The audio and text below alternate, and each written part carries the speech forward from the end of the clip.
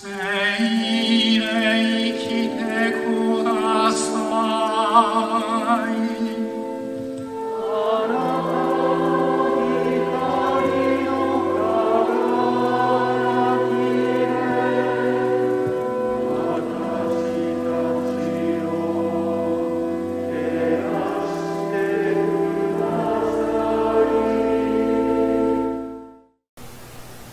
広島教区の皆さんこんにちは。こんにちは。平和の使徒推進本部が送る教区代表者会議を知るの時間です。聞き手の竹内です。この番組は2021年11月23日に開催予定の2020教区代表者会議について毎回ゲストをお呼びして教区の皆さんへ分かりやすくお伝えするものです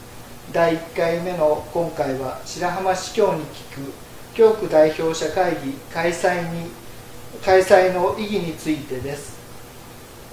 ゲストの白浜市教様です。よろしくお願いします、はい、よろしくお願いします。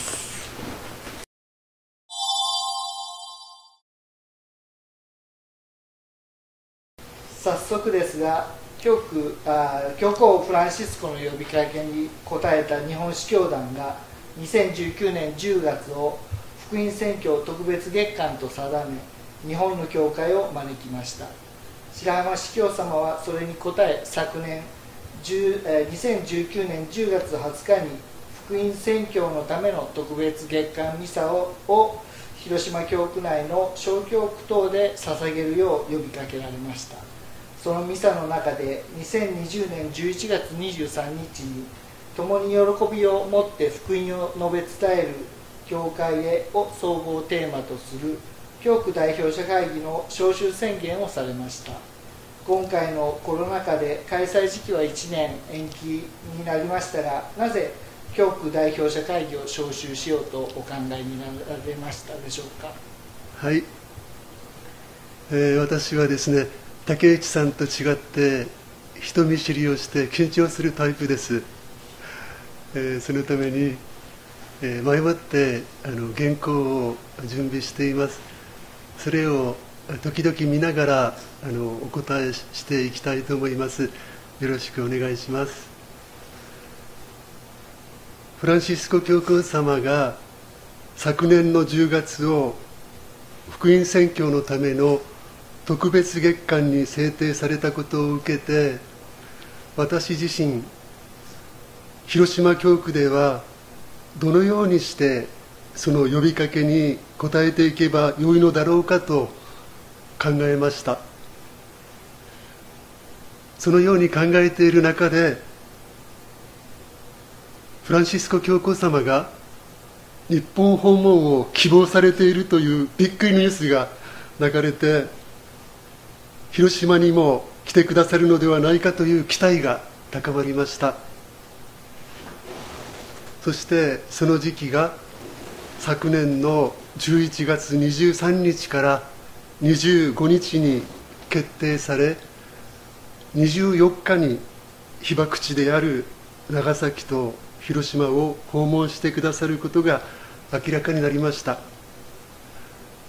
そのために広島教区としてはまずフランシスコ教皇様を広島に迎えるための準備をしっかりと行うこと。そしてフランシスコ教皇様が日本で語ってくださるその生の声を聞いてから教区民が一緒に今後の福音宣教の在り方について考えるのでは考えるといいのではないかと思ったわけですね。ところで広島教区の歴史を見てみたときに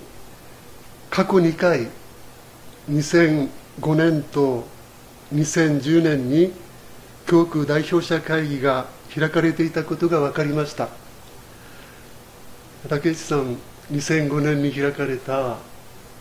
教区代表者会議と2010年に開かれた教区代表者会議のことを覚えていらっしゃいますか？まだその頃は神道じゃなかったので、あそうだったんえですーね、参加はい。直接参加はしてないです、ね。ああなるほどね、はい、それでちょうど今年2020年は第2回目の教区代表者会議が開かれて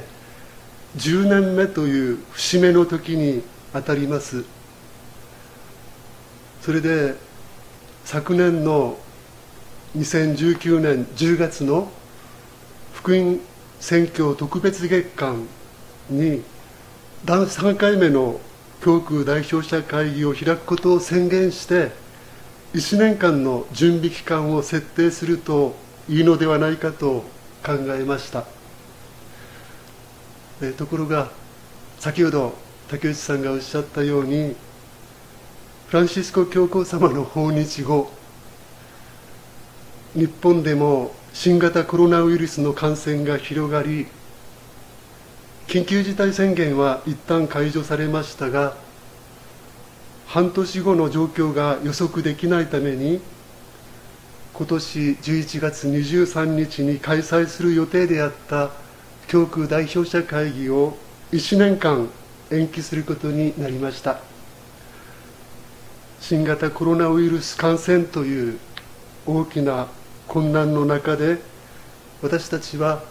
立ち止まってこれまでの社会生活そして教会生活を見直す時間が与えられているのではないかと思います。この延期によるさらに1年の準備期間を大事にしながら教区代表者会議を実り豊かなものにしていければと考えています。はいありがとうございます。次回に